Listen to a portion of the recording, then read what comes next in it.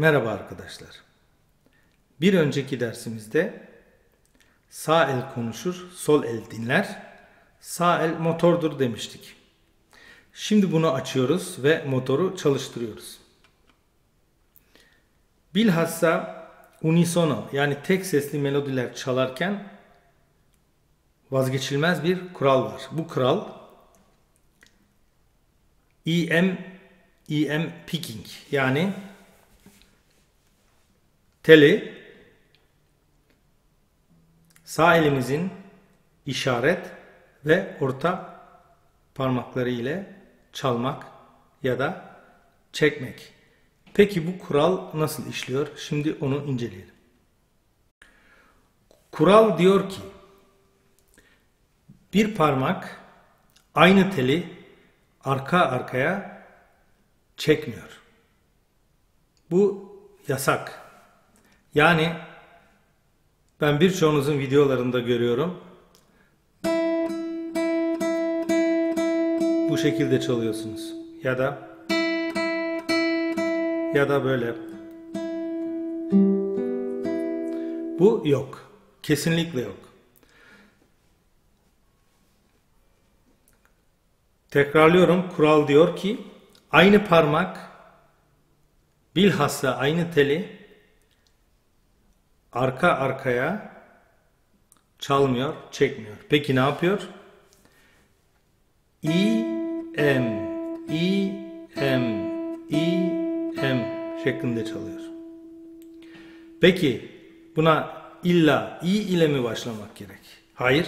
Yerine göre M ile de başlayabilirsiniz. Yani M, I, M, I, M, I, M, I, M yine aynı rutine girersiniz. Burada üzerinde durmamız gereken çok önemli bir konu daha var. Telleri çekerken hareket şu eklemden gelmiyor. En yukarıdaki eklemden başlıyor buraya doğru. Ondan sonra aşağıya iniyor. Yani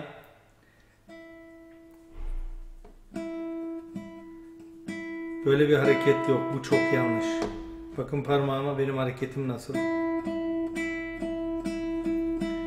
Böyle değil.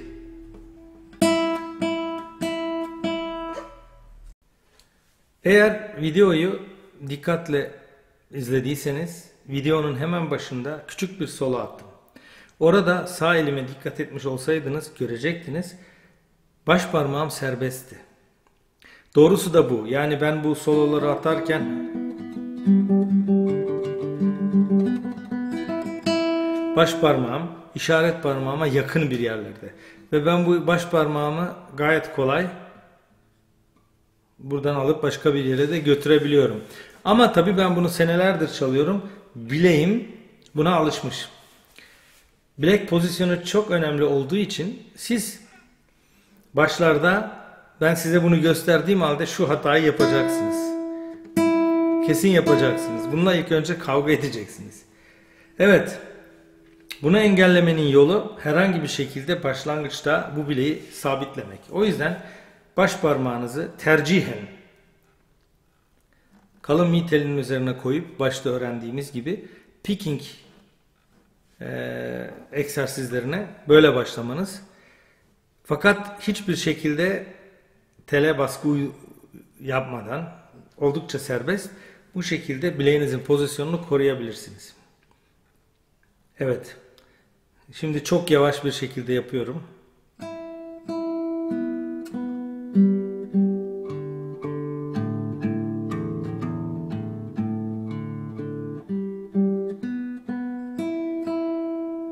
Bakın şimdi ben otomatikman bu parmağımı unuttum ve o şekilde çaldım. Siz eğer mümkünse başlangıçta burada da kalın. Evet. Tek önemli olan şey bu bileğin burada hareket et yani şu hareket yok. Şu hareket yok. Ve bunu ancak böyle tabi burada da böyle şeyler yapmaya kalkarsanız aynı sorunla karşılaşırsınız. Tek amaç bu. Aranızda bayağı ilerleme kaydeden arkadaşlarım var. Benle yazışan falan. Onlara birkaç kere söyledim ama beni dinlemiyorlar. Hala böyle gitar çalıyorlar. Arada sırada bunu ben de yapıyorum. Yani bazı yerlerde yapmak gerekiyor ama genelde gitar çalarken bu bilet bu bilek sanki beton dökülmüş gibi sabittir. Evet. Şimdi bu egzersizi size notasyon üzerinde yazdım. Oradan her seferinde 50 kere olmak üzere egzersiz yapıyorsunuz. Yani elinize alıyorsunuz gitarınızı 50 kere bu egzersizi yapıyorsunuz. Ve eliniz işe iyice alıştığı zaman takip eden dersi izliyorsunuz. Bu işi benim söylediğim gibi başarmadan takip eden derse başlamayın. Boşu boşuna zaman kaybı. Akustik gitarı pena ile çalmak isteyen ya da elektro gitar çalmasını öğrenmek isteyen arkadaşlarım benim derslerimi takip edebilirler. Bu ders grubunda sadece unisono melodiler çalmasını, bunları çalmadan önce bilmemiz gereken gamları sizlere öğreteceğim. Bu süre esnasında benim size göstereceğim pena kullanma tekniği tamamıyla bu dersleri takip etmeniz için yeterlidir. Tabii ki ilerisi için yeterli olmayabilirler ama sizler gamları öğrendikten sonra gitar klavyesi üzerinde melodiler çıkartmasını öğrendikten sonra kendinizi başka yönlerde geliştirebilirsiniz. Ayrıyeten ee, hiçbir kimsenin de bu dersleri izlemek gibi bir zorunluluğu yok. Şimdi gelelim pena kullanmanın kurallarına. Evet burada da tıpkı finger picking'de olduğu gibi bir kural var. O da diyor ki pena arka arkaya aynı yönde vurmuyor. Yani iki defa üst üste üstten ya da alttan vurmuyor.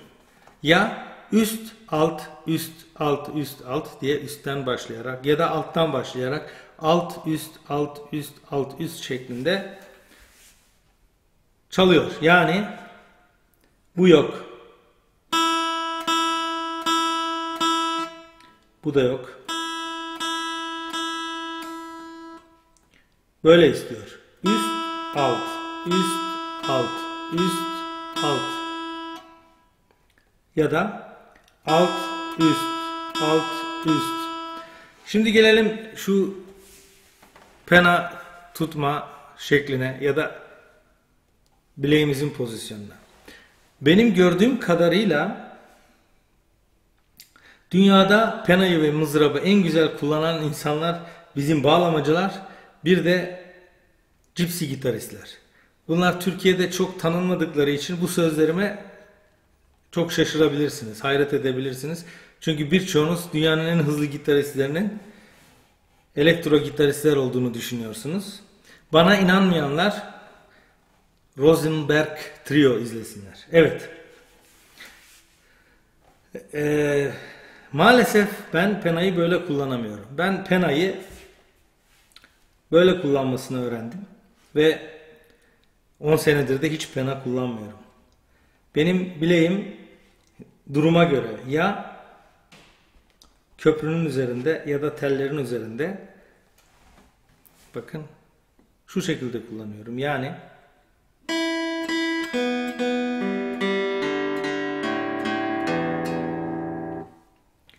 Evet. Ee, dersleri takip etmeniz için, edebilmeniz için bu tekniği bu şekilde öğrenmenizin şimdilik yeterli olduğu kanısındayım.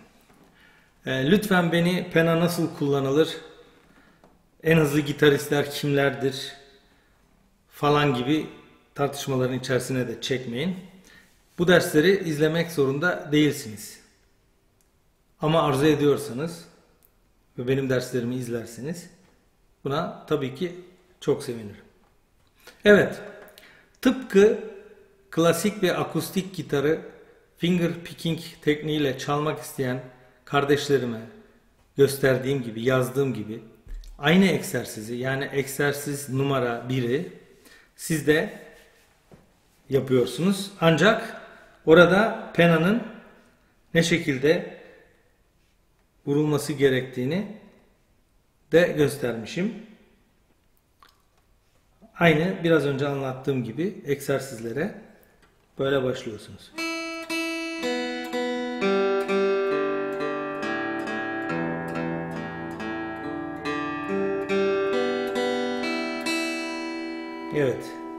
Bu tekniği iyice öğrendikten sonra takip eden derse geçiyorsunuz. İzlediğiniz için teşekkür ederim. Hepinize selamlar ve sevgiler.